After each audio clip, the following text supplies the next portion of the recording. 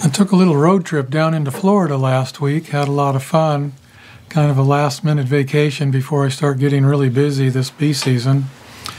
Um, saw four old friends, a lot of fun. Uh, saw Chris Werner of Indian Summer Honey Farm, saw Ray Latner of Santa Fe Bees, saw John Knox of Knox Honey Farm. All of those fellows are migratory beekeepers. And then I paid a visit to Jamie Ellis at the University of Florida. He oversees the bee research lab there. He gave us a wonderful tour and we sat down and talked about research for a little bit.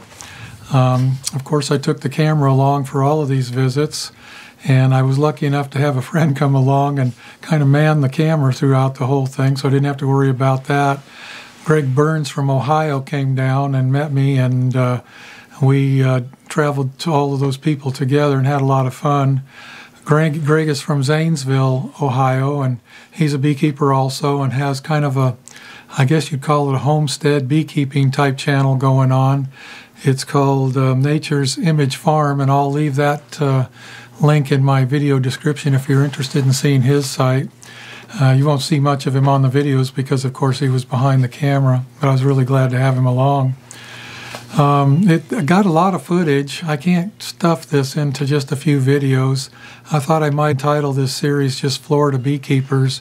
Start off with part one, part two, part three, and so on we uh, visited Chris first, Chris Werner, so I think I'll start there.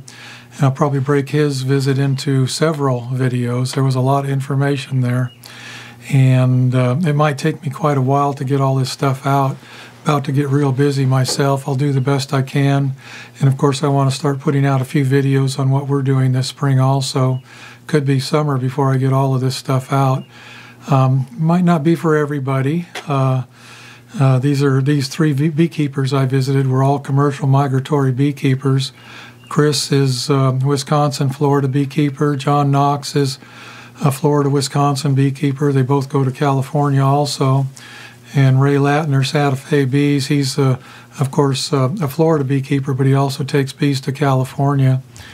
And um, I think I'll do Chris Werner first and then move on to Jamie Ellis and probably then post our footage with Ray Latner and end it off with John Knox. John is from Wisconsin, comes down to Florida uh, with his bees every winter, has a second home in Florida. It was all very interesting. It was a wonderful trip. I really enjoyed myself, and I hope I can uh, edit this properly and make all of this stuff interesting for the viewer too. So anyway, I'm going to start off with Chris Werner. So with without further ado, uh, we'll start with Chris.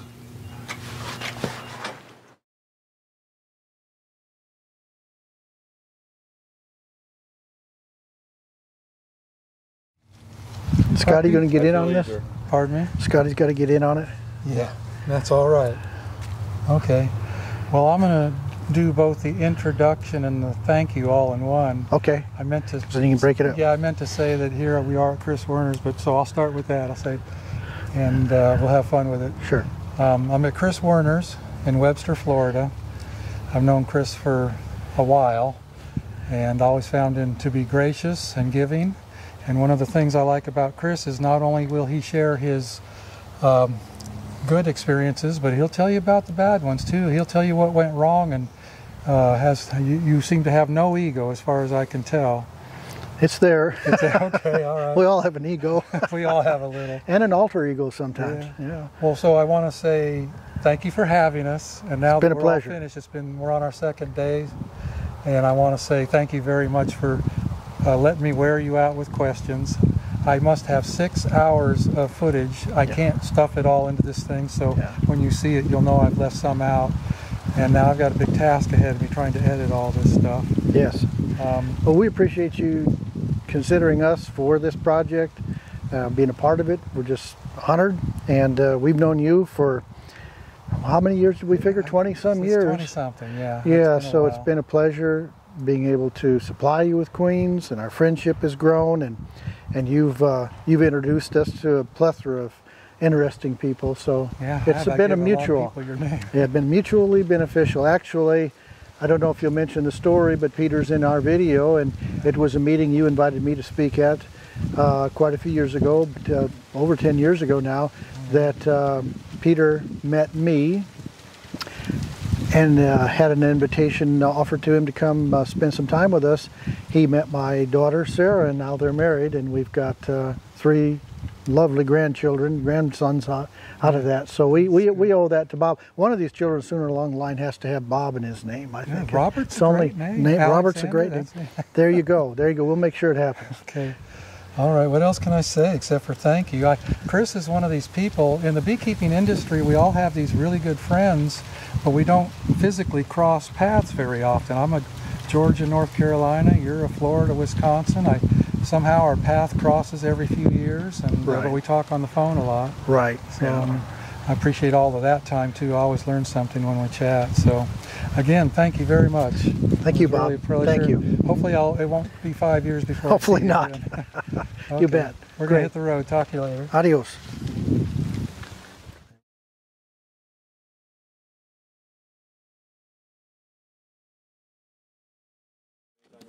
I'm I'm really lucky in that they uh, will graft from queens I send them, so I can get my own stock back. I sent them four queens to graft from back in December, I guess, and he's telling me that that's these queens on this pallet right now.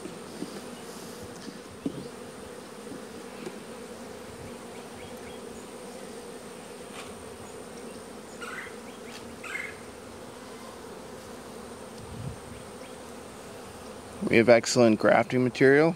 They could graft at any point at this time. We will be placing cells first, so grafting probably won't start till about noon. But the material is well aged with good. So are you, Royal jelly. are you isolating the queen? Yeah, right now I'm looking for her, but this is my material for today. Normally, when I uh, seclude her to a A frame, the next day I'll come and remove a side so she can continue to lay without me disturbing too much. So we're not breaking that that nice brood pattern or brood cycle. So you isolate her on that frame for what, two days? Uh, 24 hours, 24 hours? Okay. roughly. Usually, by the time I get back to it, it's in the afternoon, so probably closer to 36 hours.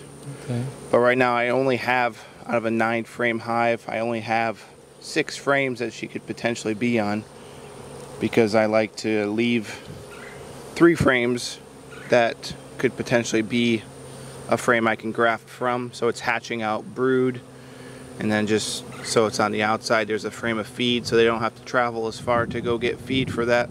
But most of it's capped, so they're not feeding it essentially, it's just trying to keep that brood chamber more centered. There she is.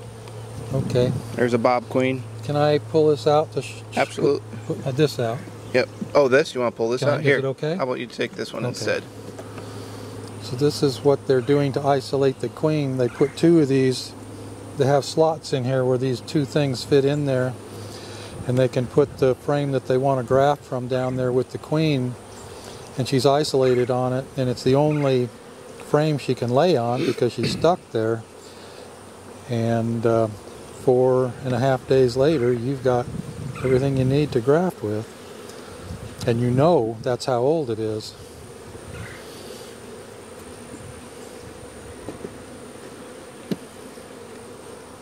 So I have her, but my frames aren't hatched out as I'd like to see them. So I always set up a hive that's got empties that they've polished. And hopefully this time of year they're not filling it with nectar because there's a little flow.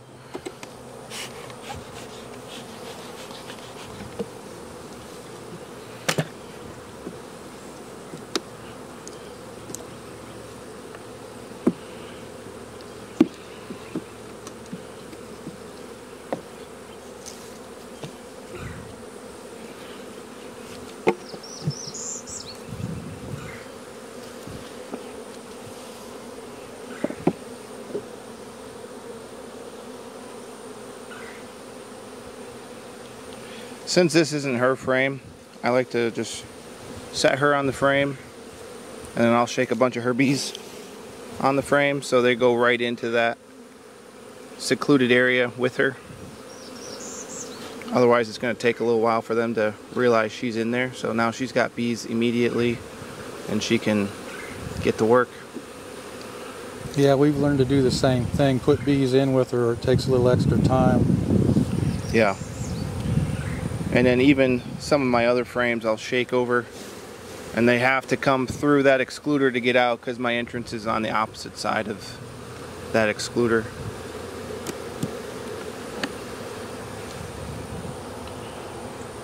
And then this is actually when I start gaining extra frames because I, I couldn't do a brood swap because there has their brood that was supposed to be hatching.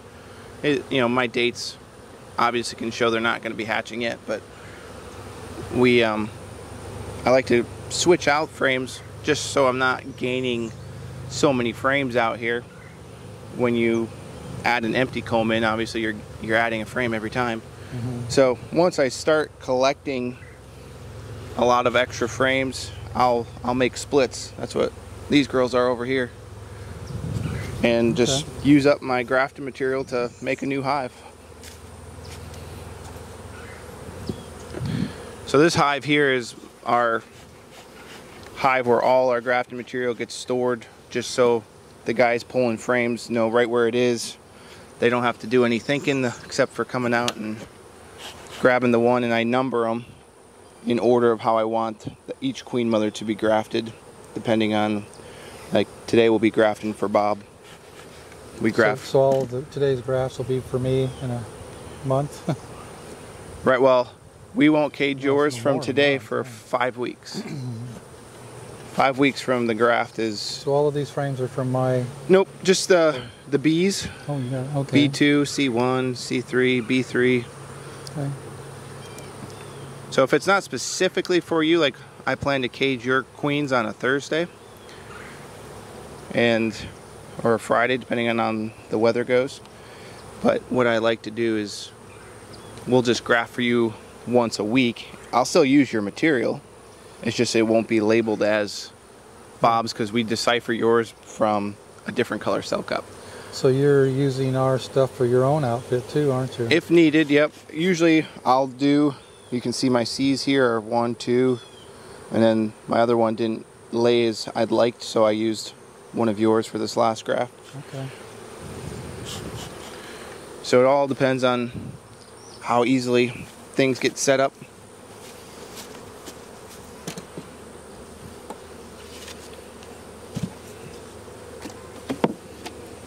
And I don't like to usually run them as two stories just because it's extra moving around and extra chance of crushing something you don't want crushed. So with the singles, I do have to run an excluder on top so that queen does not transfer over to an area I don't want her because our lids Uh-huh. have that rim on it. Oh yeah.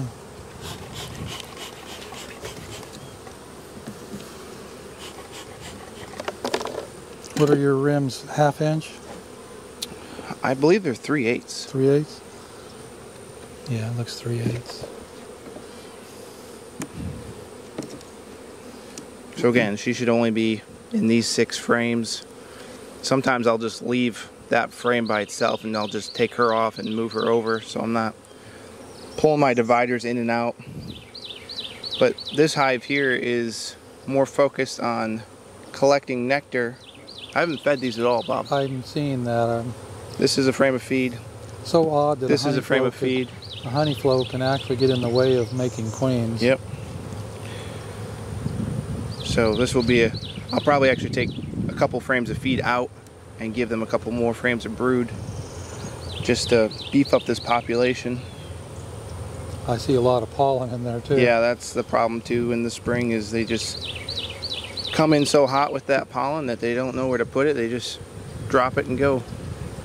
If they just listen to us, Right? We set it up perfectly.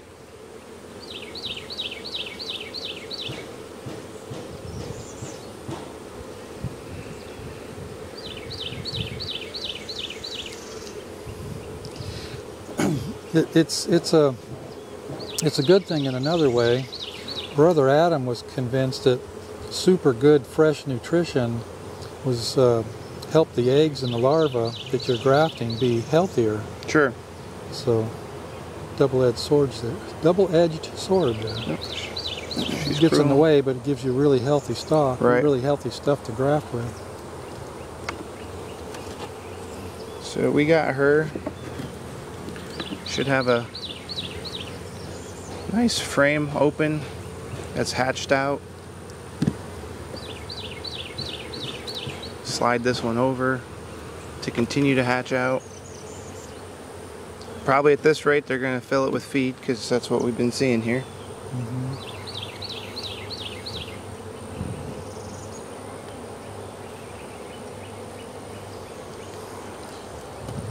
So I know you've said it once, but Sure. when are you going to come back and pull that extra excluder there?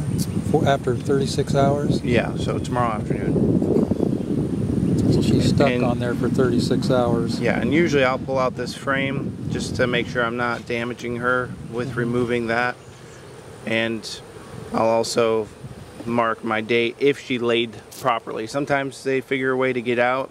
You know, I'm not perfect, so there's holes in my system. Well, sometimes it takes them more than She'll tell me. another 12 hours too for some reason. Yeah. Yeah, if we got extra nasty weather coming, I'll let her stay on there a little bit longer so we have a potential of that graft being younger when we need it if we have to postpone a graft. But um, thankfully, we've been blessed. We haven't had to do that. You guys shooting for like 12 hour larvae? Yeah. Probably 12 to 18. So just so I don't get turned around. Yours are blue dots and this one's yellow. Even though it's Okay. last year. Mm-hmm. Be like, oh, I'm I'm doing mine now.